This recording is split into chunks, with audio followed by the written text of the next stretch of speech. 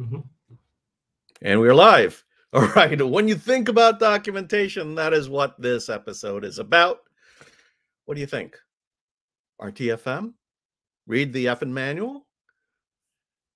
You know, user doc- documentation in the in the context of software is more than just user documentation. Yes, user documentation, good end user documentation is super important for making sure that your project is successful.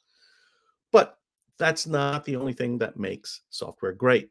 And I will posit to you that what makes a good project just good and a great project even better has a lot to do with the quality of the documentation that it has that that that it has as i said before and we're not just talking about user documentation we're talking about developer docs having good documentation that allows developers to come in and be productive, having good examples, having clear cut um, descriptions of APIs and how to use them, uh, good explanations of workflow. And on top of that, making sure that users have a way to share information and to reconcile issues that they run into through properly documented support sites, properly documented support procedures, in which you can get answers to your questions. Now, that I will say is still not sufficient. When you're dealing with open source and open source projects like Meteor Software uh, and Meteor.js, specifically Meteor Software is the company, Meteor.js is the project. One of the other things I would say is having sufficient comments and information in your code, having module comments and descriptions, having function comments so that you have a better understanding of what's going on with it. And for those of you who say that, you know, we don't necessarily need these things because I have self documenting code, I write self documenting code. I think we're going to argue with you on this one a little bit. And later on in the program, we will talk more about this. You'll notice that there's an overall theme today in all the news that we do, and it's going to have this documentation focus. But on top of that, we will be talking about other projects, and we'll be doing a demo a little later. Uh, is not here with us today, and you'll see that in a bit. But we'll be doing a demo and uh, showing you how you can deploy your applications on the different options that you have and pointing to the documentation that tells you this. So without further ado, I want to just share with you that this is episode 36, and you're watching or listening to This Week in Meteor.js, a weekly newscast of the Meteor Dispatches podcast, intended for both new and returning Meteor.js users. Our program is brought to you by Meteor.js community ambassadors who share information, events, activities, and other newsworthy items. I'm your host, Alim Gafar, streaming to you live from New York City. Hello, everybody. I'm Jan Dvorak, aka Storyteller, streaming to you from Prague, Czechia. And as we always do, we'll jump straight to the news. All right. I'll start with some quick Meteor news. Let's jump right in, and that is that we work meteor.com, which many might have thought has been dead or no longer maintained, is back online and it's uh, sponsored by Meteor Software. So if you have any job opportunities or are looking for job opportunities in Meteor, this is the page to go to to find you know what what work can you do with Meteor itself. And that's pretty much it for the news for this week. We have, if you follow in detail the, or if you follow the development, we have a lot of merges going into Meteor 3 as, as it moves slowly towards uh, release candidate 1, but nothing new uh, on that side. And I will not bother you here with the details of every pull request but I will jump now to uh, just say updates from bit more high up, and that is from all the way up into the JavaScript engine, and that's that's a V8, uh, and that is what runs the JavaScript in Node, in Chrome, and so on. And recently there has been, or pretty much always, there are some updates uh, going on in this. And Antonio Zanini in his article on February 28 has uh, summarized a few of them. And uh, pretty much there are some new uh, features. Let me scroll up here that you can take uh, advantage of. I think interestingly here are the two well-formed or is well-formed uh, functions, which especially in regards to, we look here on MDN, they are in regards to the text that you know you put in it will tell you or it will format it in a way that it won't crash other functions that might rely that the string is well formed like the uh, encode URI uh, function and so on. So that's now of course in latest Node 20 and of course in the browsers. Let me, yes, here we go so here's a sample of how that works. Just take some wrong uh, string and it will format it at least in question mark. Or in the case of a smiley, it will add the emoticon there. So encoder nice. is one of those things. Uh, but uh, of course, or maybe not but, but uh, we have a lot of uh, of course, uh, new improvements, especially when it comes to performance. So that's a quite a constant, let's say, I would say theme through this article. New performance improvements, new features uh, in regards to WebAssembly. For example, this one in regards to garbage uh, collection. And you can see here, you know, some minor speed improvements, under specific scenarios. And let me double check my notes.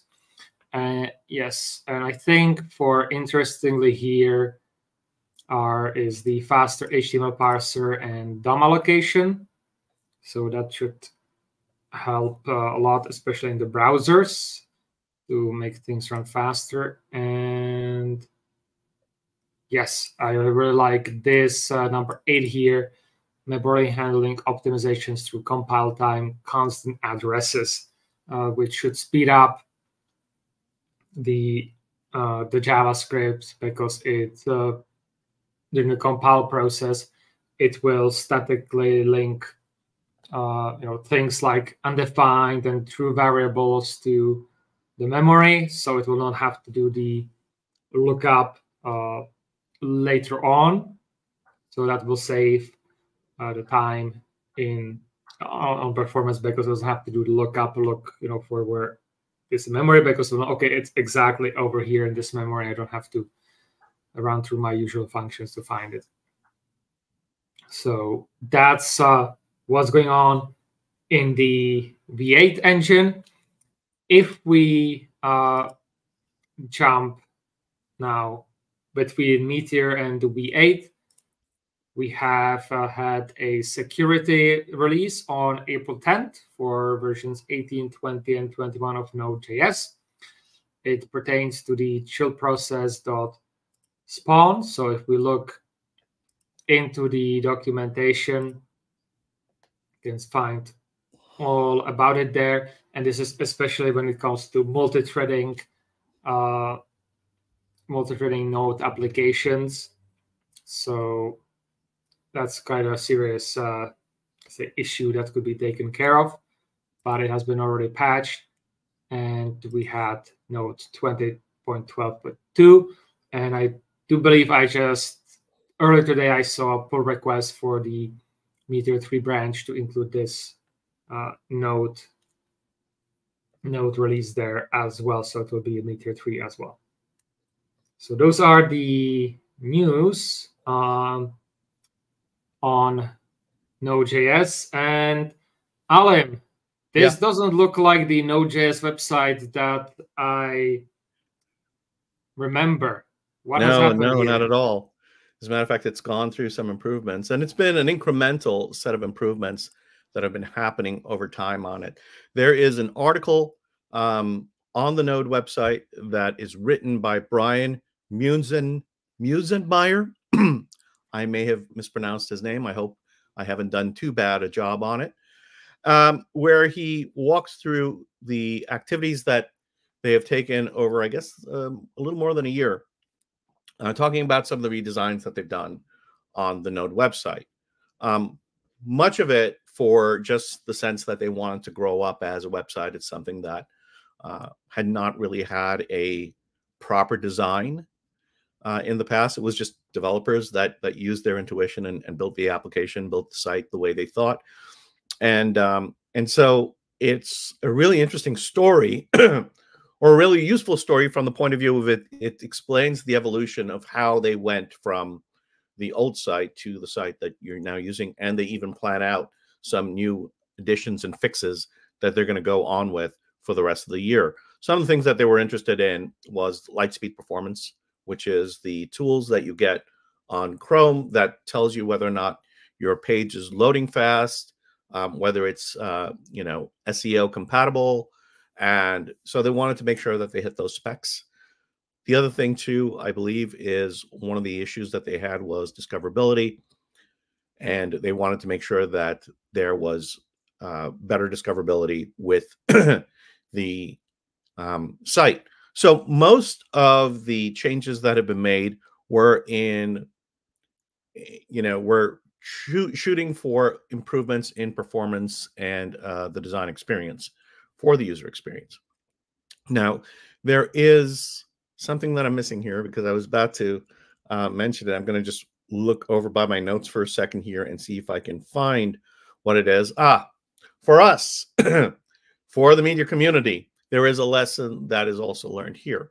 One of the things that was mentioned was how they were able to get more involvement and uh, try to time some of the work that they were doing in terms of improvements to the Grace Hopper uh, anniversary uh, last year, and then of course Hacktober, Hacktoberfest last year, and they set up a campaign in which they uh, reached out to the community and said, "Hey, you know, if you are interested in doing some small task that can help us out, and we'll enumerate those."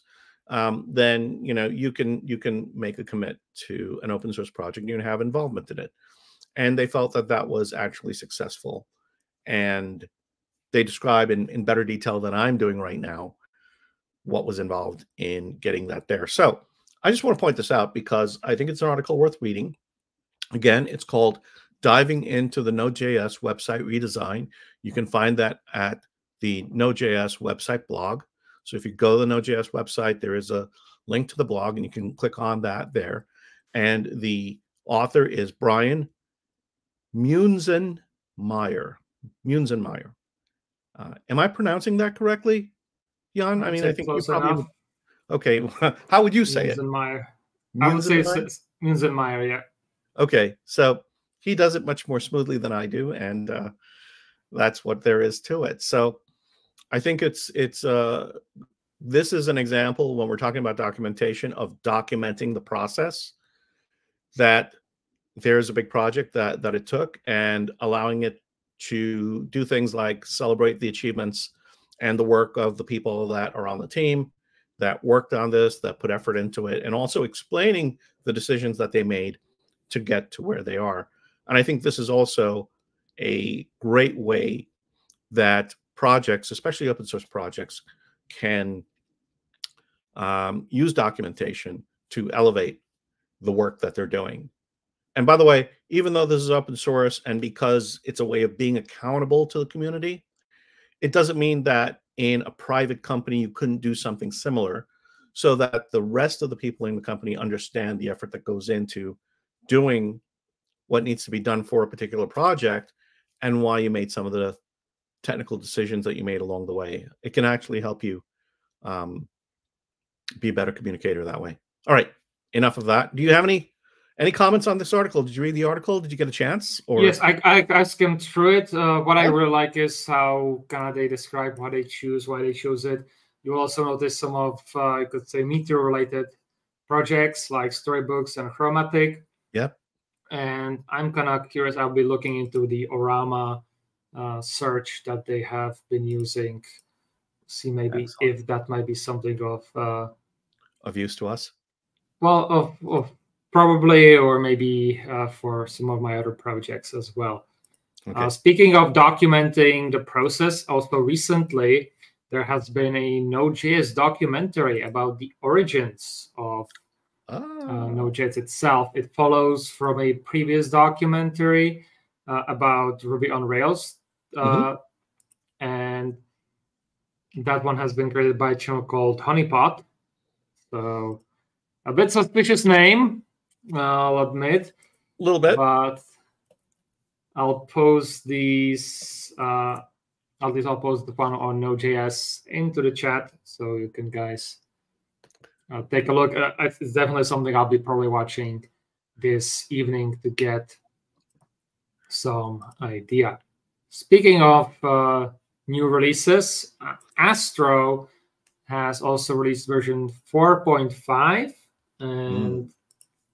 Which has some quite few interesting uh, features that I want to highlight. One of them, or kind of the first one, big one, is Dev Audit UI, uh, which, uh, from my understanding, is as you code and work on your, you know, on your app, if there's like some issue. So, for example, you are missing alt description for for your image or anything else that could affect, for example, say the lighthouse score or performance, is going to get highlighted. And as you can see in the example here, it's going to tell you uh, where it is, what was the issue there. So, and potentially the effect of things. So, I found it super interesting um, and definitely something to look forward. Part of it, I think, if I remember correctly, Astro is uh, React based, so uh, having that uh, you know kind of or it's also very opinionated so having that helps in determining these uh, you know making these determinations so. But definitely you know something very cool to maybe hopefully have something similar to meteor in the future at least for the meteor related stuff. Uh, another big one uh, specifically that we can also look uh, for inspiration we have talked a lot with collections uh, too about JSON schemas, uh, and they have now in Astro 4.5 added experimental uh, JSON schema for data collections generation so that they can be reused in, of course, auto completion, validation, documentation, and many other things. So we'll be watching, I think, this a uh, little bit more closely, especially in relations with collection to uh, to see if maybe the approach is something similar that you might want to get inspired by for collection two. And I think the point to make here is although we've talked about Astro in the past, and although Astro is not something that you can really use with Meteor, it's really important to stay on top of what's going on in adjacent fields so that you could see what innovations people are are working with and see whether or not Meteor could could use them. Yeah. Another interesting thing is, uh, which could have been potentially considered, is that uh, they have built their own uh, documentation, mm-hmm. say, say engine, but you know, framework based on Astro hmm. called Starlight, and that's definitely something that I have been looking into uh, as well when looking for documentation. So it's supported by Astro. It has different languages and some of the other uh, goodies. So this is, uh, I would say, quite a nice, uh, you know, documentation to kind of take a look at when, you know, kind of looking for what what you want to, how where you want to build your uh, documentations on. That's excellent. Uh, there's a lot of new stuff going on here, and you know, it's yeah. There has been a lot of a lot of new documentation. Um, let's say frameworks that have mm-hmm. popped up uh, quite recently, uh, which I'm not really sure how to feel about it because we are we had there has been a long time nothing. Uh. Then you know there, there was like Hexo. Uh, then you know Docusaurus was kind of the big first one that many have started switching to, and sure. now it looks like everybody is doing their own. Uh, engine even freaking WebStorm has you know their their own that they've built that you can easily integrate. Yeah. So well, and then there are these online ones that have been around forever, like Read the Docs, right? So yes, you know, it's it's terrific that we have these things. What I think is more important is whether or not projects are using them, whether or not you are using them, and um, you know, they do help make it a little easier. You just focus on the writing rather than the entire like, how am I going to structure this? But it's uh, it's cool yeah. to see yeah, well, it's for me. It's right now it's kind of a bit more difficult because before, like, it was like, okay, let's you know use Docusaurus and that stuff, and now uh, the choices have uh, seriously expanded. And you know, it doesn't mean that there was just Docusaurus, but like other options that were quite valid as well. But Docusaurus has kind of at one point become the de facto standard that everybody's right. go to, and now it seems like it has been shattered and. Uh, there's some very good other options as well. Yeah. And it seems like everybody's running their own. So uh, kind of makes me, you know, uh, a bit nervous when, you know, choosing what, what to do for my documentations and other yeah. things. I kind of want to wait a little bit to see which ones are going to kind of win in this battle. Mm-hmm. Uh, but that can, uh, you know, that will probably last much longer than I uh, can afford to wait. I remember when I was at Meteor Software, um, we were using Favro, um, which is just an online shared doc uh, for uh, for collaboration, um, and making some of those documents public, and then just you know you could just get a URL to it and and do that. And then we had to migrate from Favro to something else. I forget what it was that we eventually moved on to, but uh, it's I, I, I see your point, which is when you make that decision, you know, you also have to think about, you know, what happens if you migrate in the future, whether or not the project that you're on or you've adopted has has a future and it's got legs, whether or not it'll stick around. Um, all of those are are decisions to make. In some cases, people might say, "Why don't you just, you know, use uh, Markdown and GitHub Docs just on its own?" right? Yeah. And mm-hmm. and just go with that. And that can be a solution too. So it depends on what problem you're trying to solve by adopting one of these frameworks. So yeah. I think that's that's the point, right? Yeah, for me it's always you know, I want to have translations and I want to have mm-hmm. uh potential like you know versioning for the different versions. Sure. Sure. All right. Um should we move on to the next thing? Yes. What's happening in the market, Salim? Oh, I wish I could tell you what's happening in the markets, but in the meantime, I'm going to pretend that I know something and and uh, tell you uh, what's going on with the cloud markets. Uh, there's a recent article by um, Ron Miller at TechCrunch uh, that says that the market is forcing cloud vendors to relax data egress. Now, if that doesn't make any sense to you, I'm going to explain what it is right now. Normally, when you adopt using a cloud framework, you'll put your data in that cloud, uh, and not cloud framework, but a, a, cloud provider. So AWS, Azure, um, Google Cloud, IBM Cloud, Oracle Cloud, right? Any of those guys. When you when you build your applications in there, often what you'll do is you'll either use a database that's already in that cloud area, or you'll use one of their block storage uh, systems like S3. And the thing is, the more of your data you put in, and this is also true of database providers like MongoDB Atlas, the more of your data that you put in, uh, the more of a lock-in it becomes, especially when they put an exit fee for taking your data out. Now, there are egress fees in two ways on these cloud services. One is, you know, trying to get your data back out. So if you've got terabytes, it can be very expensive to to take it out. The other is just the transit of data uh, to the customer's browser or wherever it might be. So those fees add up also. Um, the ones that they're talking about here, and this is not a blanket revocation, is what the article is talking about. What they're saying is like, yeah, you can get your data out if you want to leave that cloud provider. In the past, most people would say, well, it's just too much work and too much trouble to get my data out. I'll stay and I'll figure out how to make it work.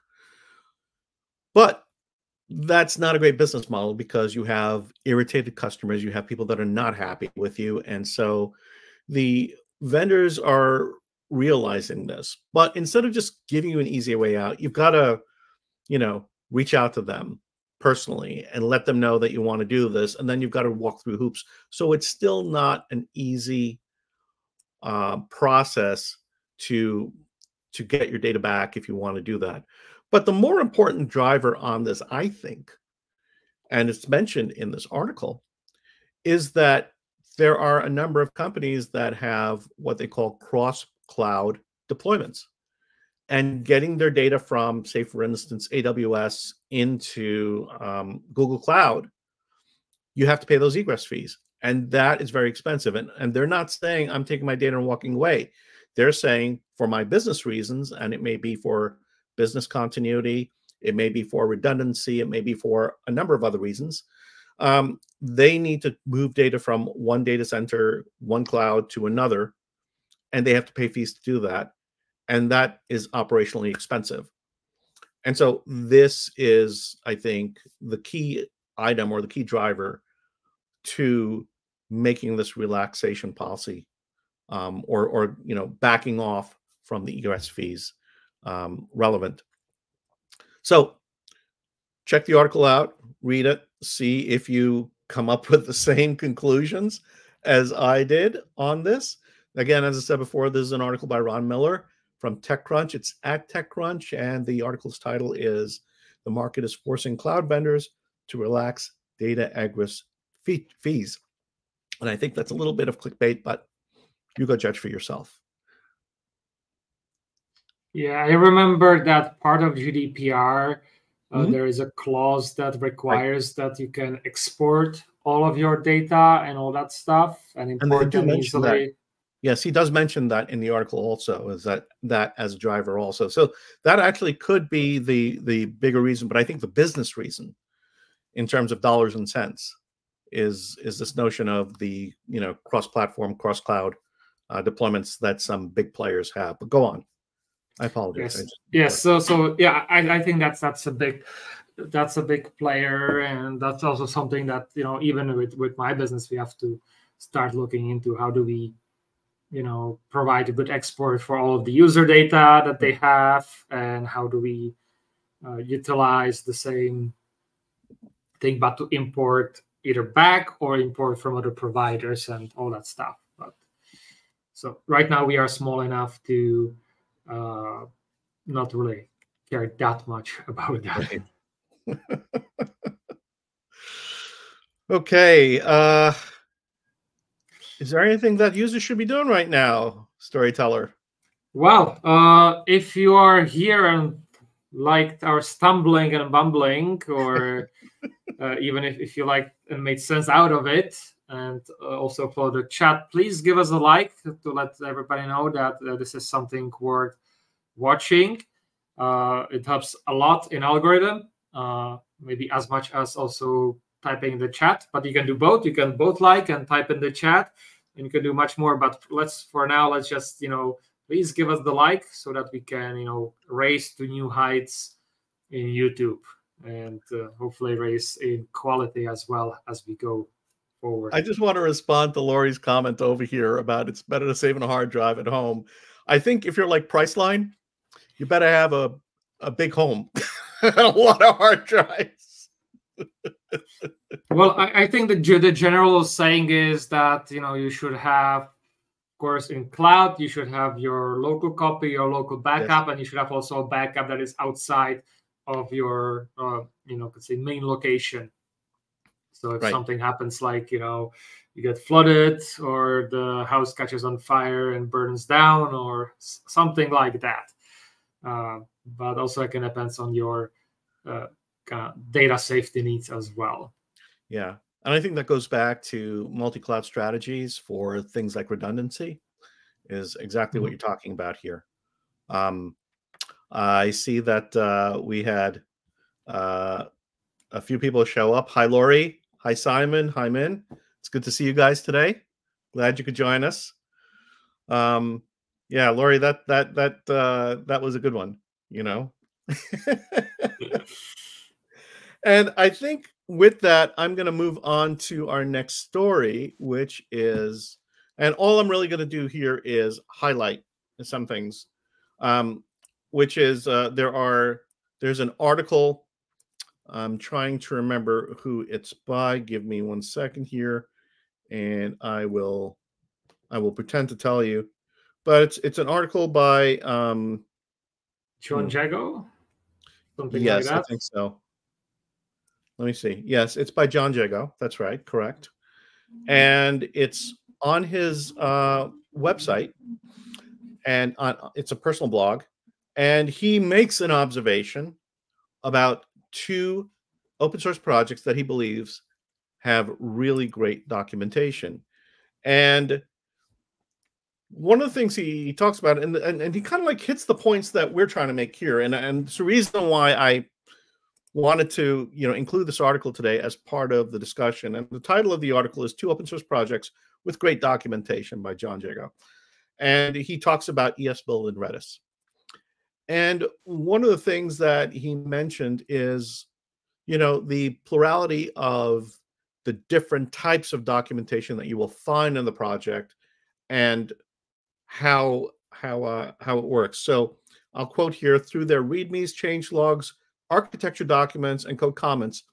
Both projects explain their design in such a way that someone new to the code base can understand things where they are, how they are done, and why they are done that way. So it's not just documentation for the purpose of telling you what the thing is, but also explaining why the choices have been made for you know those particular um, decisions. Um, I think I think it's it's this is a really really and then of course he has a whole section here called why good documentation matters and he's got an argument for it so rather than sit here and try to argue out the uh, reasons and we have kind of like given you a few of those points very early in the program i would say go read this very excellent article and um and give it you know give it some thought and then put some comments in the comments later on after the program's done. Just come back here and let's continue the conversation. What do you think?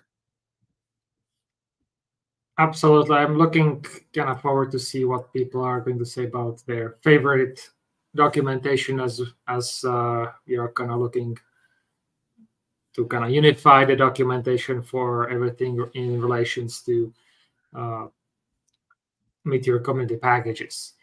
And yeah. that also being said, if you are interested in helping with that, you know, please feel free to reach out to me, and we can get uh, you know the efforts forward again. And I just want to remind everybody that Storyteller and I are here this week, which is great. We're missing our friend Küster, but Küster had a little bit of a forethought, and he wanted to be part of the news today, so he sent in um, a video recording on a story that he looked at, and it regards signals. I'm going to play that now for you so you can check out what he has to say. Yeah, welcome to another news item. This time on a proposal for signals submitted to the TC39 in order to make signals becoming a part of the upcoming ECMAScript standard once it's through the full cycle. And this is interesting for us, for the Meteor community, because basically we had some kind of a similar implementation with Tracker in Meteor. And um, however, signals emerged over time quite often in many different frameworks. And I think the author's idea, and this is what he describes in the article a little bit further, is that there are multiple frameworks implementations and he gathered actually people from these frameworks um, to in order to give input and come up with some kind of a standard here. And this is interesting because maybe we will get signals as a first class citizen or as a, as a data type in that case in javascript. That would be totally interesting. And also the question arises then what do we do with meteor do we adopt this? Do we replace tracker with it? Do we want to give input what we know from tracker there is the tc39 organization repository called proposals signals which also he opened basically and um or which he's working on i think. That was at least what i was looking at. Yeah there is. I think no it's daniel ehrenberg. That's somebody else. I think was it? Oh that that's different. That's rob eisenberg.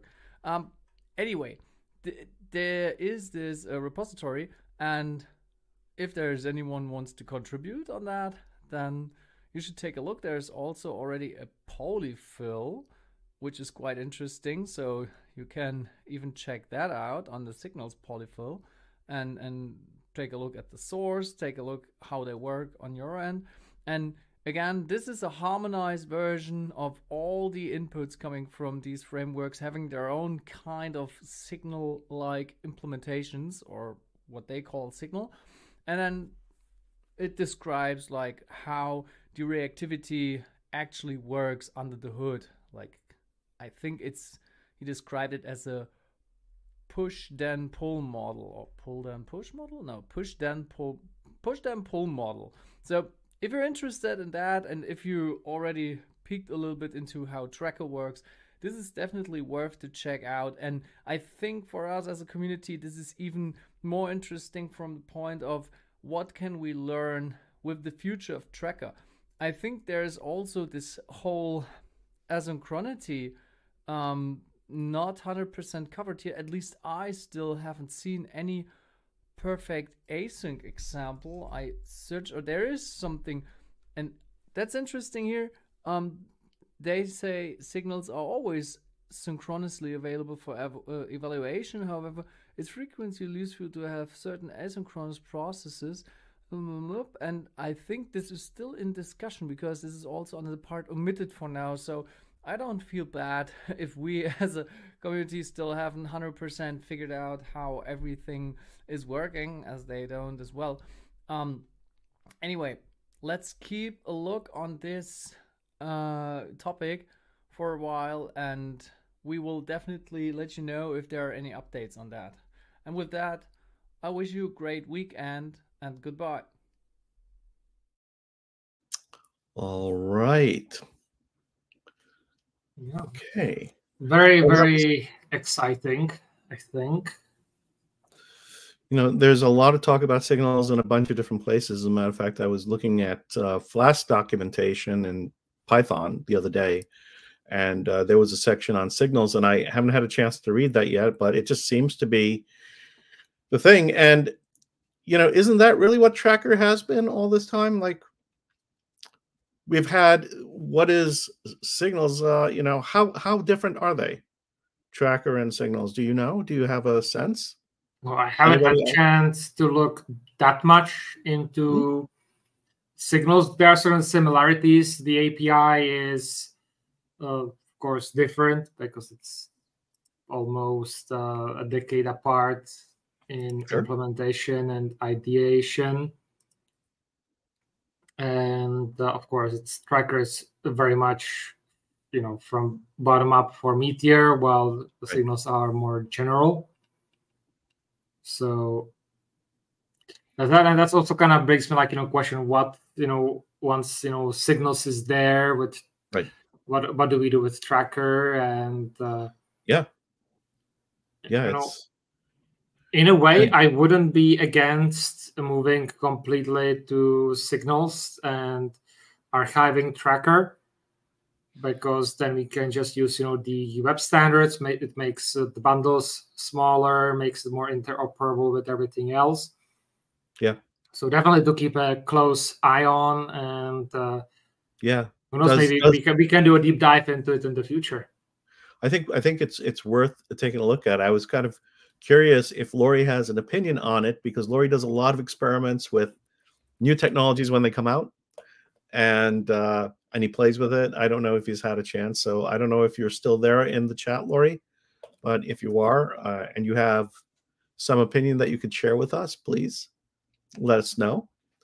Uh, I don't have any experience with signals other than you know, it's sort of like you go to a party and you run into that person that you, you know, looks interesting. Haven't you had a chance to ch- chat with for a while, right? Because mm-hmm. there just hasn't really been a reason to but you see them over and over often enough that you think, oh, you know, I, I think one day I'm gonna just try to make a, a chance to to spend some time with that person and and get to know them.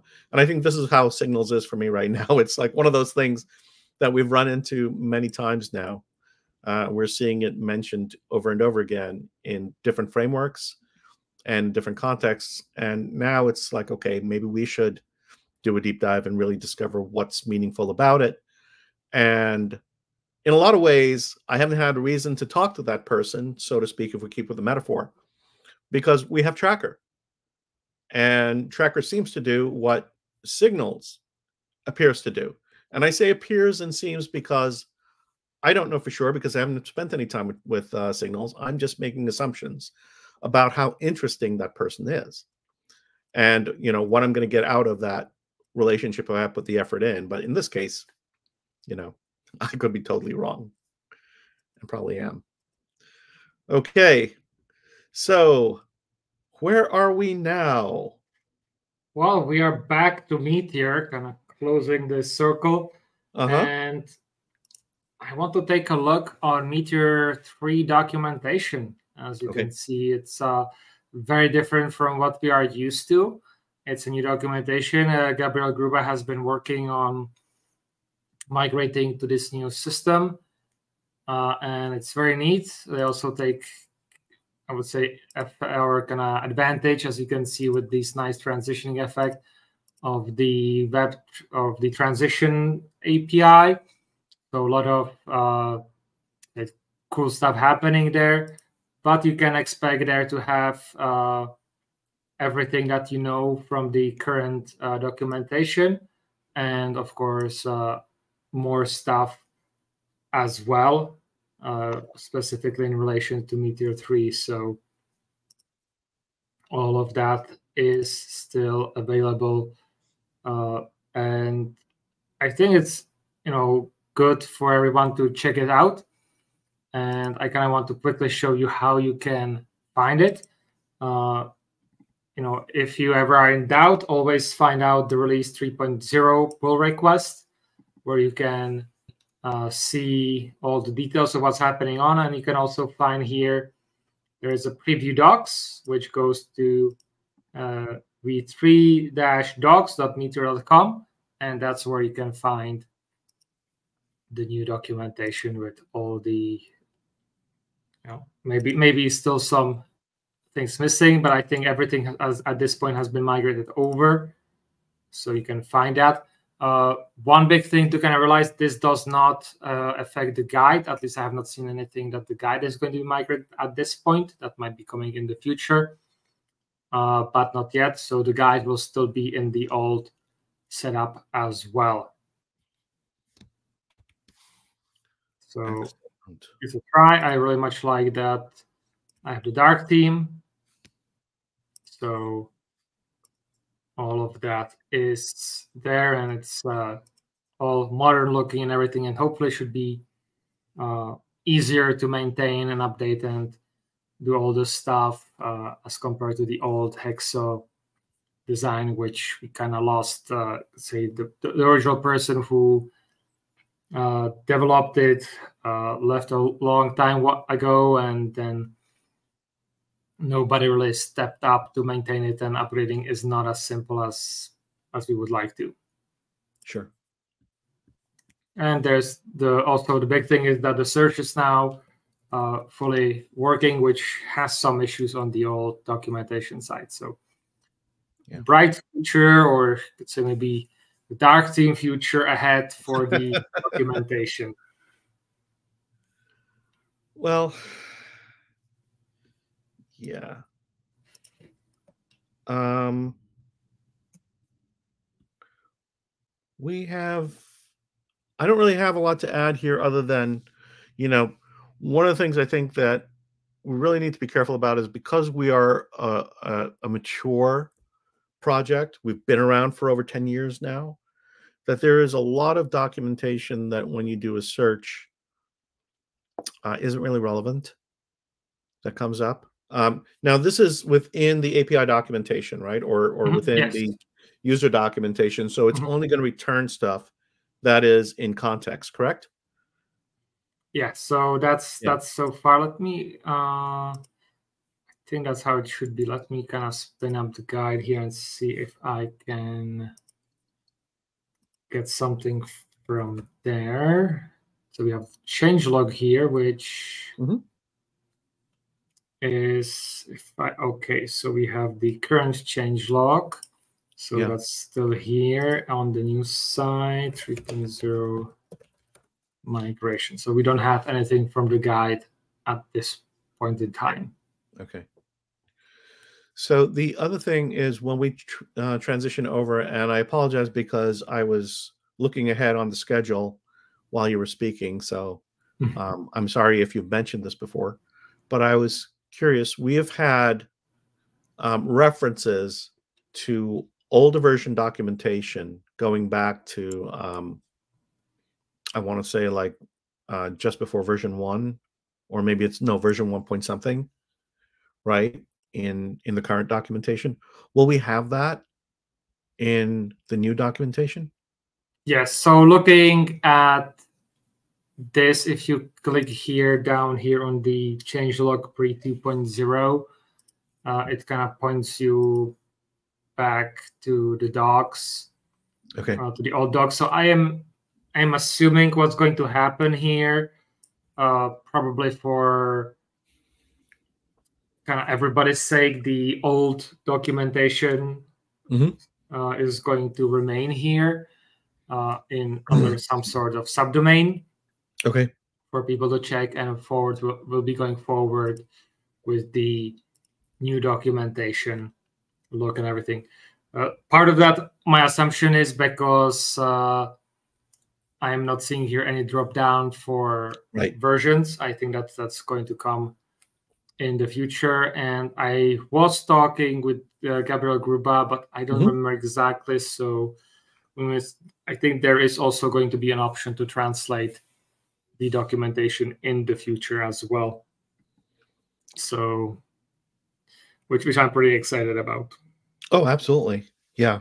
It's great to see it going forward. It's great to see a new face to it and having uh, good tools behind it. But I also want to make sure that we don't lose out on information because I think you, uh, myself, and Küster a while back had done a an informal inventory of some apps that were out there by using one of these uh, sites like Built With or something, mm-hmm. and found that there were uh, several uh, production sites out there that were not current. And in terms of Meteor, some of them working yeah. on with very, very early versions of Meteor, which I think speaks to the fact that if you have an app and it's running and it's not broken and it's doing its job, and you haven't had a need to update, then great. Um, it means that that version of Meteor works very well for you. Um, so those folks who might run into an issue later on, uh, if there isn't the documentation available to them, it really becomes a very frustrating experience uh, for for them and their applications. And yikes! So it just I just want to bring it up as a point because you know although it's a lot of extra stuff to carry around and it's old stuff um, it sometimes is necessary stuff. Yeah. Oh, then we go we go into how do we optimize uh, mm-hmm. optimize it for search? Uh, you know, uh, right. also kind of remove it maybe from search because we don't want this to be, uh, especially later on with, with tutorials and everything, to be searchable or yep. from the outside, so that we don't have the old information out there some to be able to found. Uh, speaking of optimization, I have for you now here a useful resource which I found. Uh, I don't know how if I found it probably by some Twitter post or something, uh-huh. and that is optimizing JavaScript for fun and for profit. Yeah, that was a goes... story that that was a story I found uh, about two weeks ago, and um, we pushed off for this week. Yes, yes. awesome. So yeah, I think that that's uh, my how it gone. So definitely highly recommend looking here at you know people smarter than me or at least more in the weeds of all the details yeah. looking on different uh, performances and what is better to use for data structures and you know i like here where was it uh you know be careful about strings and there was yeah. uh no yeah caching, prefetching, uh-huh. some interesting. But one thing I really liked and uh, about this using well, I haven't I still have to really go into much details, but there was it was something yeah. in the beginning. Let me quickly find it. Yes, here avoid array object methods, which mm-hmm. I found very interesting. That you know instead of having you know m- using maps or yep. using uh, you know filter reduce all these awesome or uh, for each functions if you just do a for loop uh, you know, kind of the imperative way to run through a array it's faster so that is uh that's gonna a bit surprising uh for me uh and you can you can kind of learn all about it here why that is and you know especially if you are looking then in to get into all the uh, details yeah. about or like if, if, you're looking to you know improving like for milliseconds and all those stuff then this is where you really you should be paying attention and uh, improving on that. For me for example with this you know maps and everything i've moved you know to for for loops uh, a lot of places especially when it comes to async because uh, in the for loops we can run async and it becomes a bit complicated in the you know maps for each and all those other uh, functions. So highly recommended uh, this is generally for javascript and who knows maybe in the future we'll also do for react and other things. It's it's a really interesting article in the sense that this person um i don't know the name it's uh, just a username romgrok right? Or rom mm-hmm. i don't know how you say it. But what's what's really you know interesting with this is the focus on on the layout of your data and thinking about how it maps to memory and thinking about how you, you know memory is accessed right or the data is mm-hmm. accessed in memory uh, when it's completely random versus when you kind of have a structure in your mind and so i was reading this article and i was thinking this is really like how a c developer thinks you know because you have yeah. to think about like you know your you know how much memory you're mallocing and and uh, you know what your structs are going to be like if you're going to use some static data structure instead or static memory. And it's it's it's kind of cool that way. The there is this section that he has on eval which again as you said people smarter than me right? People yeah. I you know, we've always been told not to use eval, and I'm not even sure is eval even allowed anymore in the language? Uh, depends. There are certain ways how you can disable it. For example, on the front end. Okay. So eval is definitely around. Uh, Meteor uses it a lot. So I be, do re recall that you know in Meteor you cannot actually disable it because then you would kind of disable Meteor. Oh, interesting. Um, so at least on the on the front end. Uh, but I might be mis maybe yeah. mistaken with something else. But I uh, that I think it's eval that that's the issue. I just remember like this being a rule from like you know JavaScript, the bad parts, right? Where yeah. where it's recommended not to. Uh, by the way, that's that's an old book. I don't know if it's still relevant anymore. I've got to go take a look at mine and see whether or not uh, the language has moved past a lot of the recommendations there. But uh, but he does have this thing about uh, using eval, and uh, the minute I saw that, I, I just said, okay, all right, there's something going on here that you know I've got to I've got to spend some time thinking about because my immediate reaction is don't use eval. I see an article that says use eval, and I start wondering about the value of it. But because there is a lot going on here that um, I would have to try for myself to have a better understanding of, uh, you know, I, I want to give this author a bit more, um, uh, you know, um, what is the word I'm trying to use? I want to I want to give him, you know, give him the credit, right? And mm-hmm. and uh, just sort of like, you know, let it breathe for a little bit, and then come back to it. Just you know, um, give him a chance, is what I'm saying. Yeah, I, so, I think for most cases here, mm-hmm. um, yeah, he actually goes over the obviously usual warnings about eval apply. Don't trust user input, sanitize mm-hmm. anything that gets passed into evals, eval code and don't create any access possibility. Also know that some environments don't allow access to eval, such as browser pages with CSP.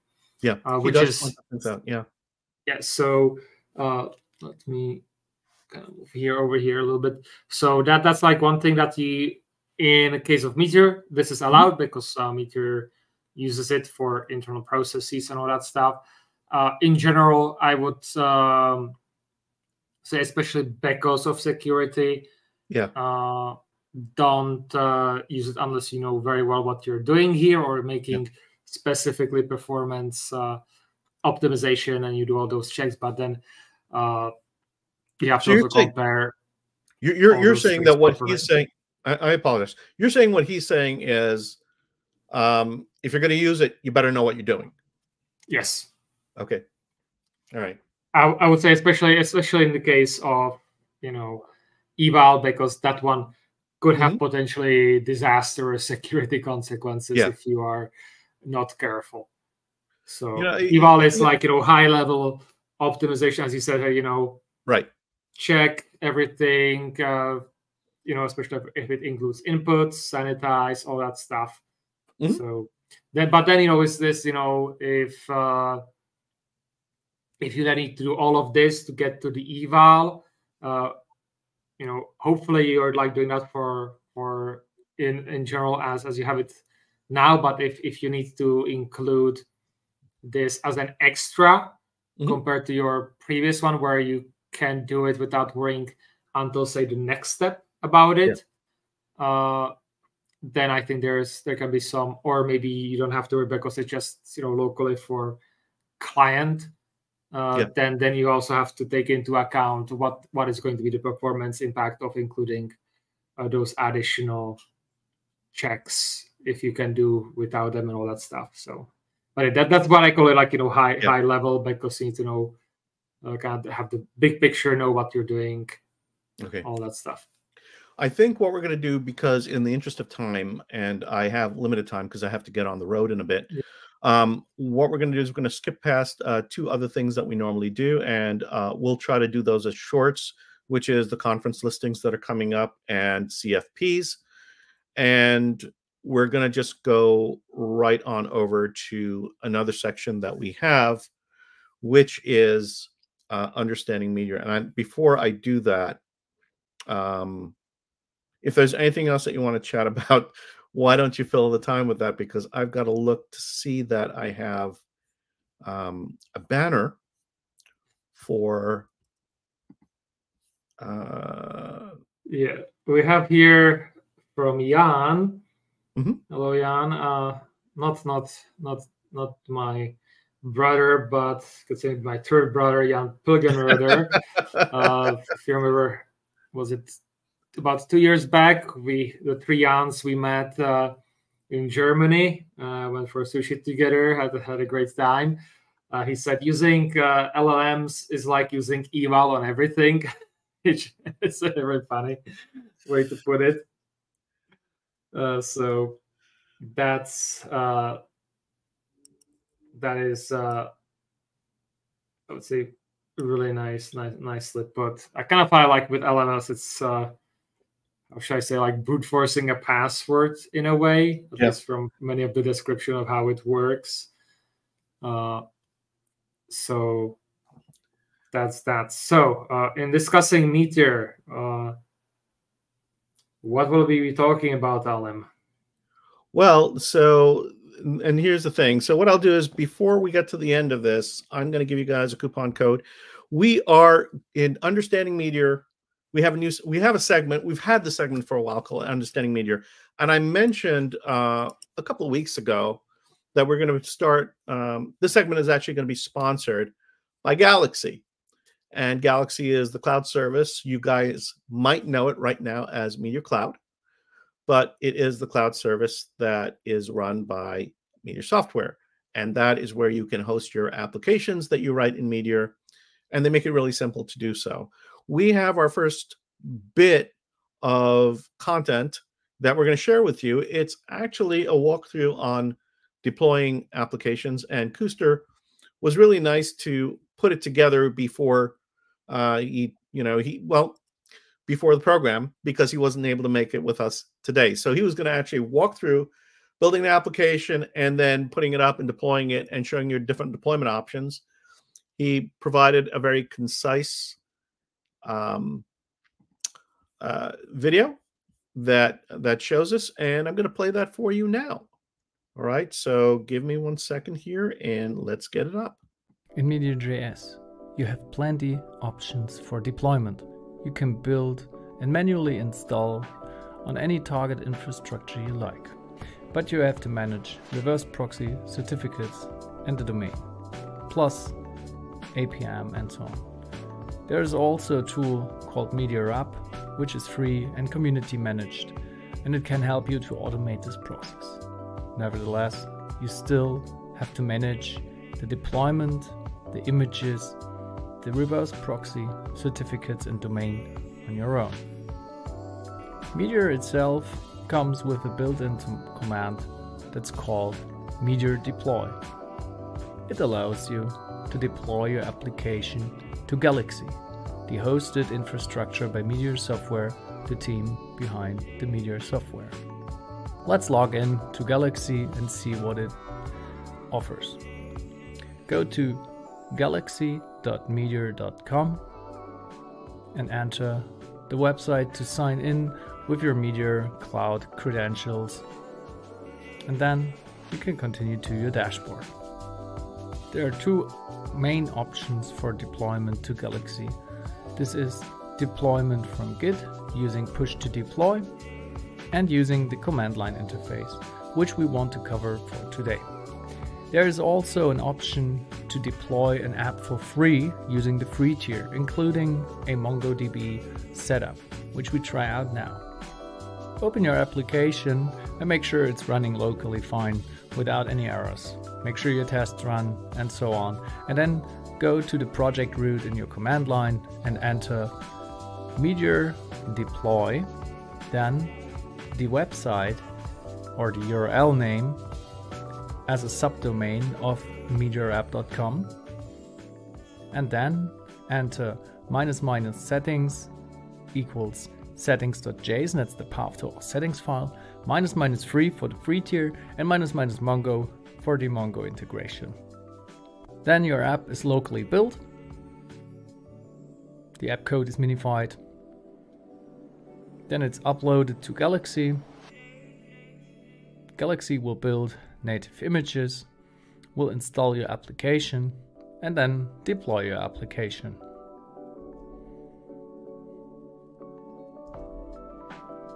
Once this is done, you will receive a new Mongo URL because you issued the minus minus Mongo command. Copy this URL and save it somewhere where it's safe and not published to the, anyone. You can also use this for your app settings in the future as, as described here. Now let's go over to our application dashboard and see what we can look at. back on Galaxy, we can see that the app is now listed under the applications list and we can open it to see what every what is there in the overview. For example, we can see connections, CPU, memory and containers and also the running performance for a certain period. The CPU usage over this period and the memory usage. We also can see which kind of containers are deployed. For our application, this is the tiny container, which is part of the free tier.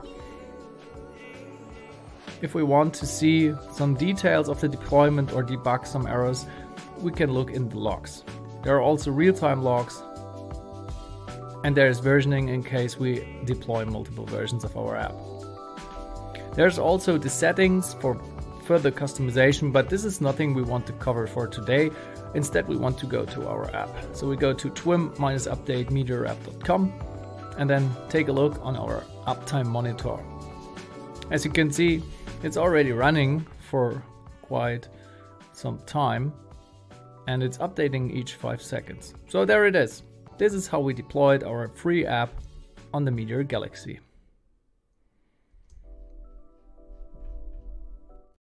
Whoops. I'm sorry, guys. I'm having a little bit of a, a glitch here. so, so that was that was the uh, that was the segment.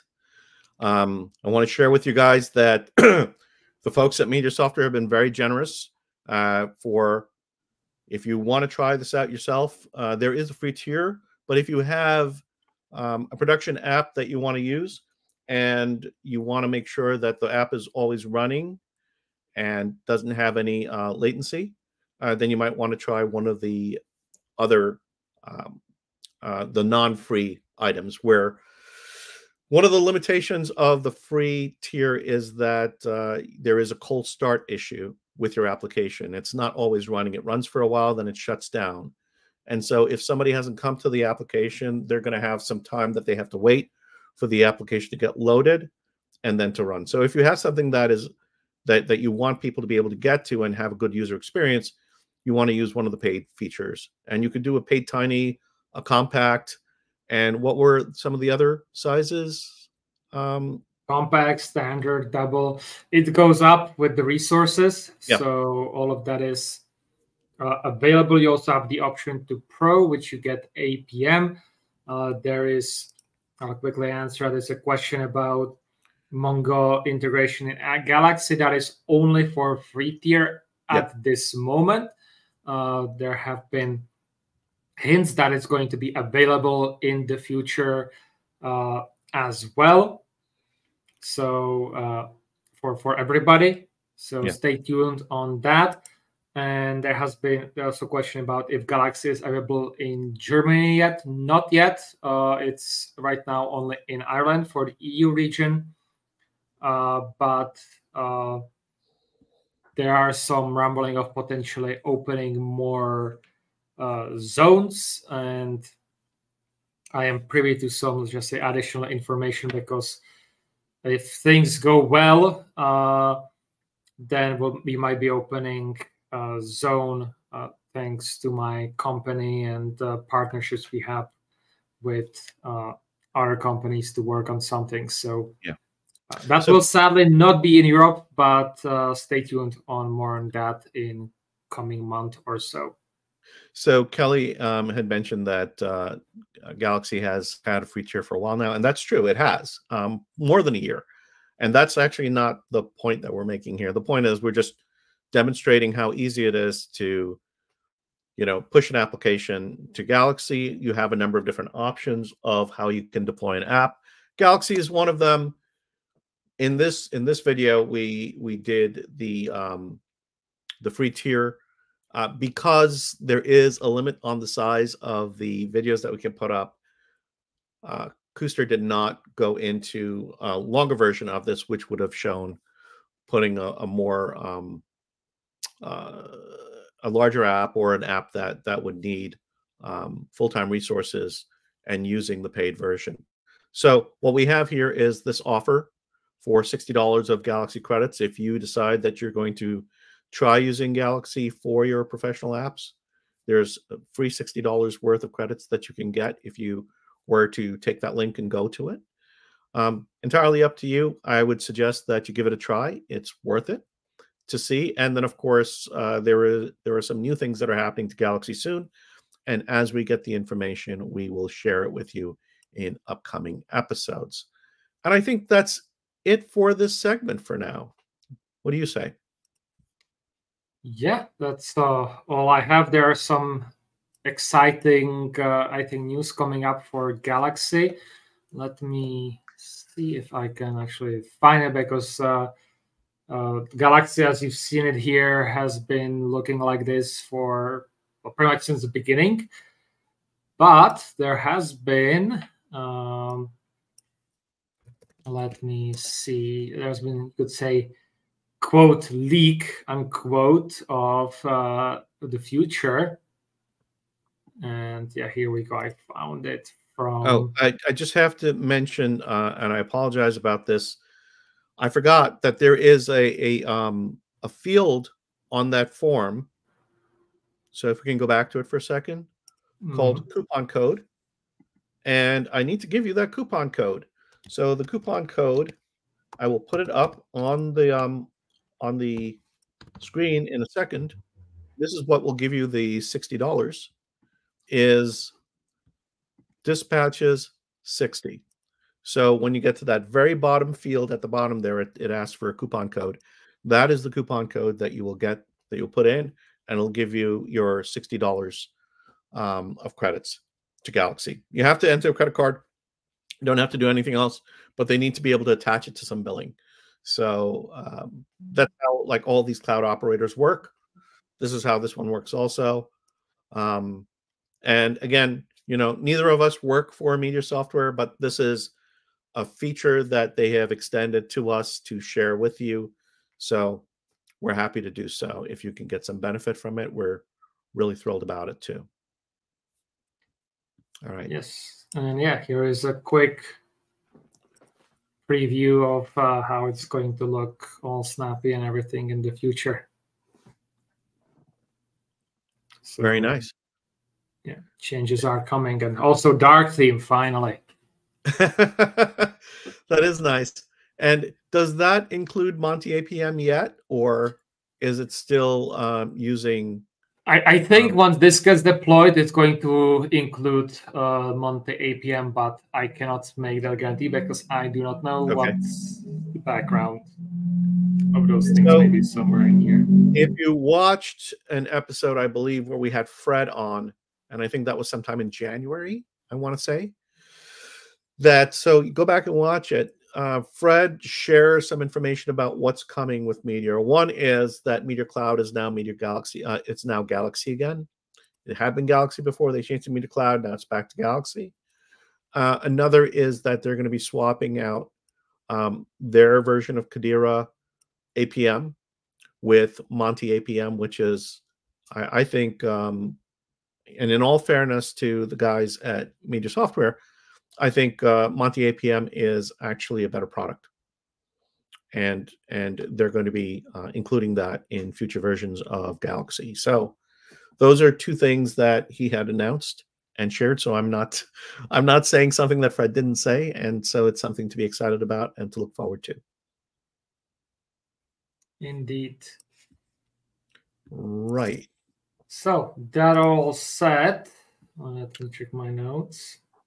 Yeah, I think we're down to the end of this all. We we did say that we were going to talk a little bit uh, in an open discussion about this concept of self-documenting code. Yes, and And joke at the beginning uh, here that you, know, you can just read the code. You don't need any docs.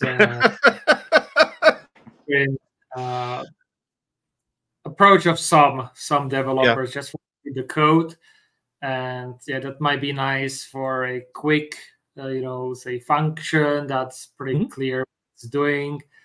But at certain point, um, things just are not that say simple uh, and sometimes you know even naming things is very difficult so i'm in the camp that or, or, also many people i've heard have been talking oh you have typescript you have all the types there you know what's going to return you know what's what's your problem? Why do you want yeah.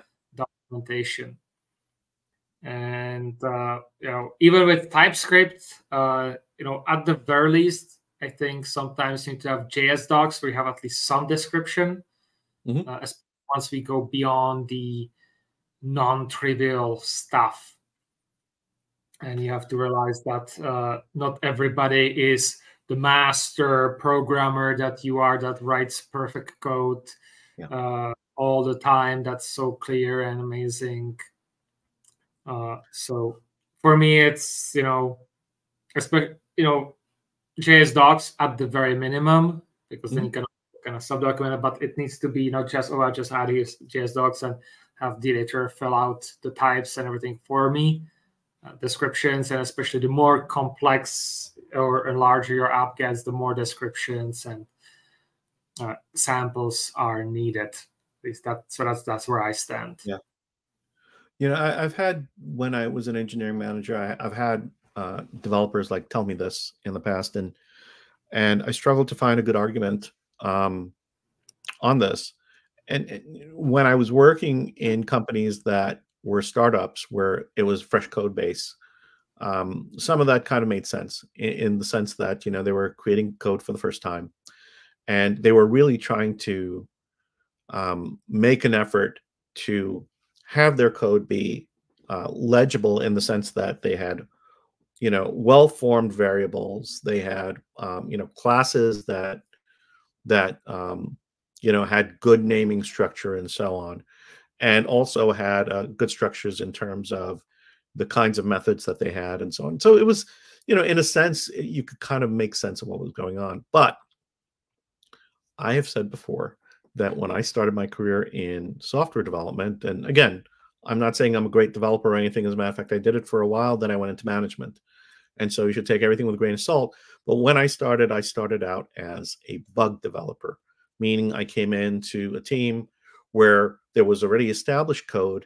There wasn't a ton of greenfield work going on. And when there was greenfield work, it was given to the most senior developers. And so when you came in, you cut your teeth on fixing bugs, um, doing enhancements to existing code.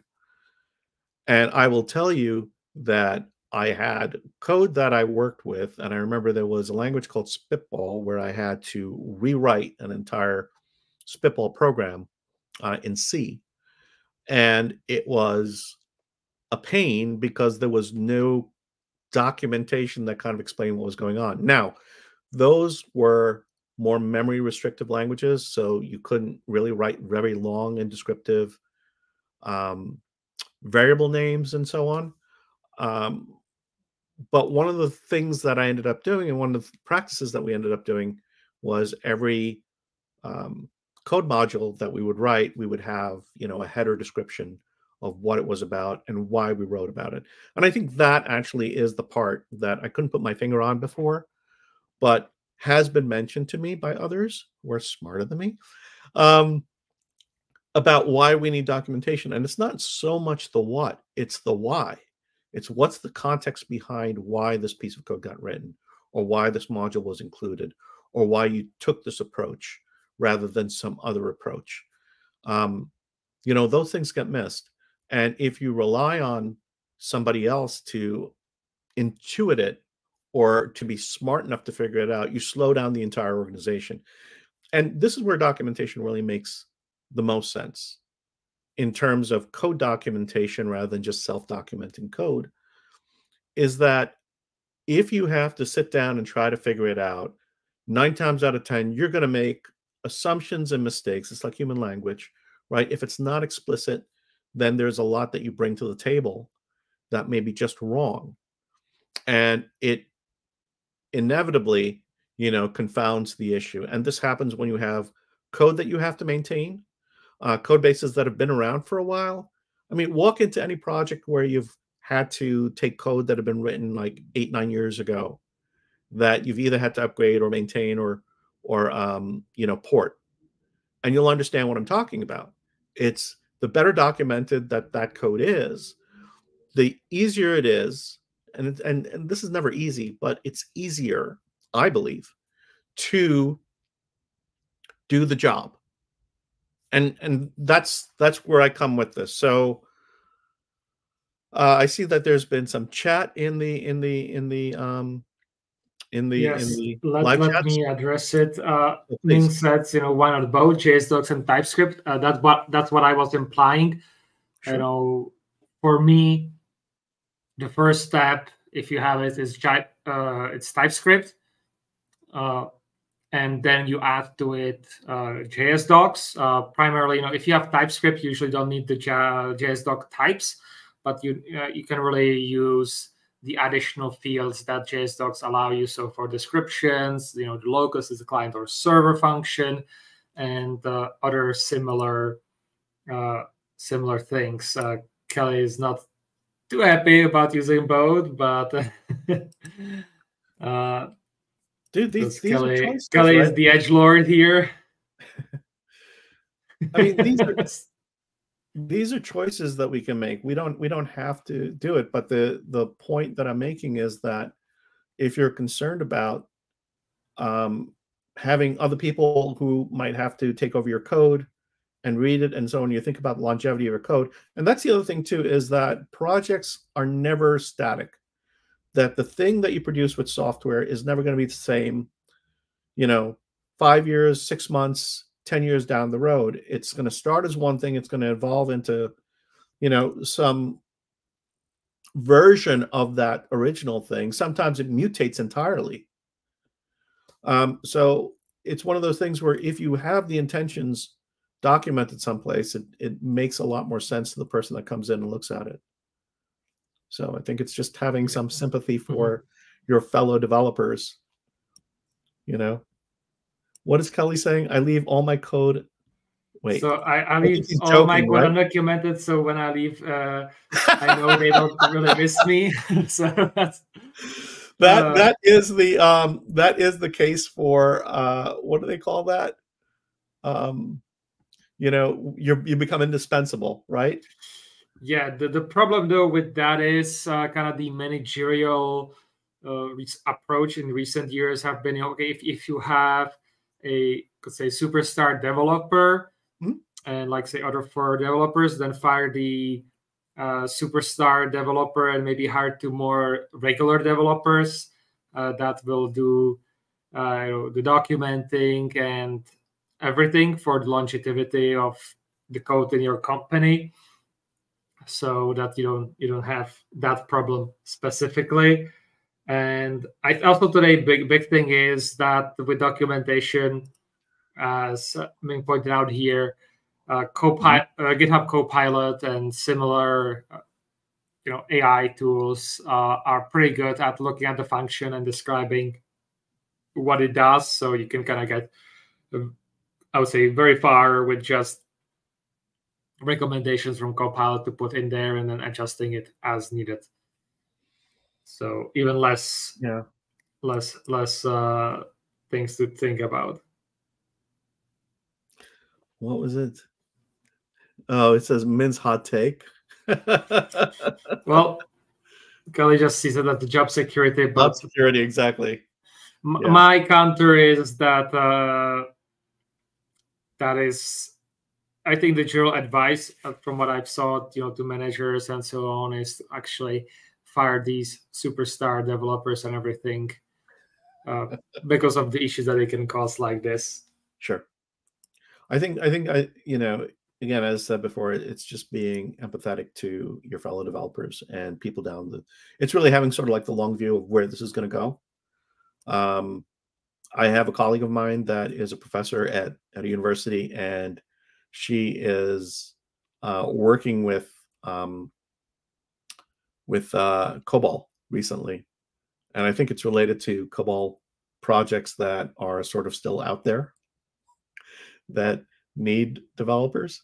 So, yeah I uh, Kelly, I, I know that that's a little bit of sarcasm and so on, but that but I think that you're pointing out what the thinking is, is why some people don't put documentation in, is because they they find that there might be some job security or so on, and they want to make sure that uh, they're the holders of the key, so to speak, um, that they're indispensable, and they have job security.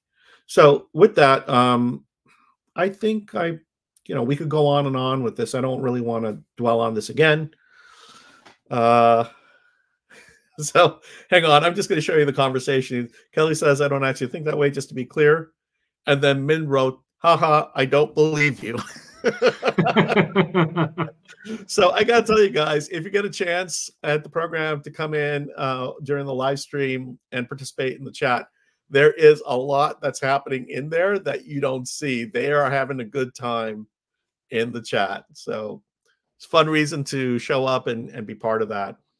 I'm going to um, pop over now and talk a little bit about you know, some of the issues that we always see here, and we were talking about some of them, we'll bring them up again next week, um, is this issue about properly supporting open source. And one of the ways that you can support open source projects like Meteor um, or others, depending on who it is, is if your developers, the folks that are working on those open source projects, include a sponsorship link of any kind. It could be Patreon, it could be GitHub uh, sponsorships, it could be a personal page. Uh, they're they're indicating to you that you know there are a couple of things that you can do. Just they want some feedback on whether or not it's worth their time and effort, what the effort that they're they're doing. Um, small, uh, you know, small gestures of appreciation can go a long way to making sure that the hard work that's put in is well received. And so, in some cases, like our uh, two Jans, the Jan brothers, they have GitHub sponsorship pages. And if you are so inclined, there are a couple of things you can do at those GitHub pages. One is you can go and give them a star for the projects and and for for just star them, right? Let them know that you appreciate the fact that they work on open source projects.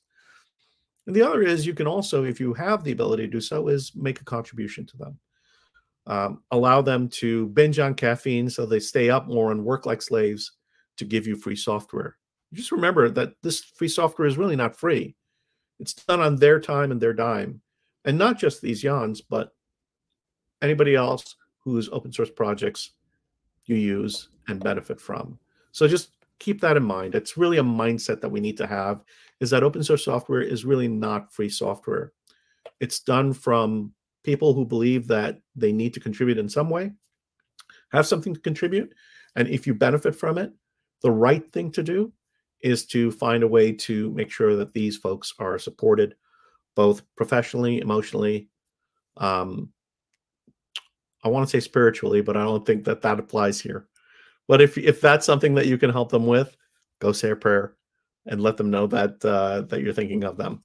All right. And with that, um, I think storyteller, you've got some things to add here. Yes. Uh, please, you know, speaking of stars and everything, subscribe to our channel. And we there are some shorts that have been created. Uh, a while ago or constantly being created. Jan is working on them and uh, having quite a blast yeah. with them. So you can check out uh, some interesting moments and uh, learning moments from previous episodes. So that those are our shorts that we are constantly producing, or Jan yeah, specifically. Jan's been putting shorts out in the last couple of weeks here, so um, and he's got uh, new ones coming up. So check them out. And let us know whether or not you know give those a thumbs up or you know uh, let us know whether or not uh, you think that these are worth doing uh, if you think that you could do a better one we leave our episodes open for remixing so you can go in and make your own shorts and then show them to us if you want to uh, you know what what else could they do uh, to participate in this so uh, as we have kind of showcased through the uh, through the show, we have a live stream. So if you come live, you know, participate in the chat. A lot of fun, a lot of additional information. Uh, sometimes we have more time to feature it, sometimes don't. But even if you come after the show, you can still leave a comment and we can continue the discussion uh, afterwards. Feel free, you know, to uh, you know tag us or add us uh, in the comments as well, uh, so that we get the notification and can respond uh, faster. So Yeah. We read all the contribute. comments. We read all the comments, so just just so that you know, we don't have that many right now, so we can read them, and we do. So, yeah. A golden opportunity, if I say so myself. exactly. All right, and what's coming up next week, Jan? So let me check in here. So if my notes are correct, Alim, we'll be mm-hmm. looking at our Bane, the AI uh, construction time again, building with AI. All right. So that's what we have at least uh, Well, scheduled that- for Friday. And, that dovetails with your your your uh, stream on Monday, correct? Yes, because on Monday, I will be looking on my personal stream AI and the future of the industry and Mhm. society in general, looking up what's, uh, you know, what does the future hold. I will have share some of my uh, ideas uh, on on those topics. I hope that you can join me for the uh, discussion, and uh, we'll look and try to kind of see. It's one of my streams where I'm more, you could say, philosophical and sci-fi, looking towards into the future uh, to see what you know the future potentially could hold. We'll try to make some prediction. Most of them will probably be- be wrong, but you know, even planning or kind of looking forward for the what what the future can hold. uh, it's part of possible preparation and mitigation of negative impacts that can come along with new technology. So, um, uh, your friend German Jan uh, just made a comment that you look like Sheldon Cooper, um, a low res version of him. And uh, now Kelly has just Oh. got uh, learn to farm now. We're all getting put out of work with AI. all right, guys. Uh, and with that, I think we're going to say have a great weekend. Cheers.